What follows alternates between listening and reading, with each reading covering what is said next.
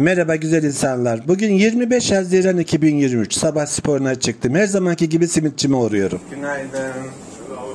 Ben şuraya paramı koyarım. Şuradan bir tane güzel simit alıyorum. Kolay gelsin. Burada simide gevrek diyorlar. Ben hala alışamadım. Simide simit diyorum ama hiçbir zaman Çorum simidinin tadını bulamıyorum. Ne demiş şair? Yarışamaz kaftağında yer olsa, yönetenler sultan olsa, pir olsa, 7 bölge 80 şehir bir olsa Çorumlu'nun yaptığını yapamaz. Tabii bu İzmir'in simidinin tadı başka. Diyorum ya zaten gevrek diyorlar. Simit demedikleri için belki gevrekle simitle farklıdır bilmiyorum. Güzel insanlar şöyle söyleyeyim. Tabii bu benim mahallemin simitçisi. Ben seviyorum oranın simitini de ama tabii çocukluk damak tadım farklı her zaman.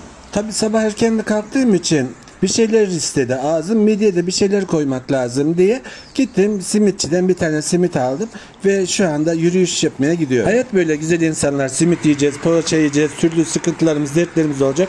Bunların hepsine de diyeceğiz ki hayat törpüsü şu anda üzerinden geçtiğimde meşhur güzel yalı Göztepe Köprüsü. Sabahın erken saatlerinde gün ağırıp yakamozu denize düştüğünde o meşhur şarkıyı hatırlıyorum. Gün ağarınca Boynum bükülür Dalarım uzaklara Gönlüm sıkılır. Sorma ne haldeyim sorma. Kederdeyim sorma. Yangınlardayım zaman zaman. Sorma.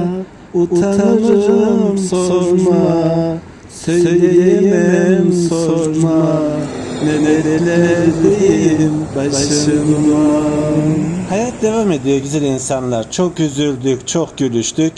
Bugün bir tane simit aldım. Onu da buradaki güvercinlerle bölüştük. Evet sabah sporumuza tekrar dönelim. Güzel insanlar, insanlar yürümedikçe, hareket etmedikçe göbeği yere seriyor.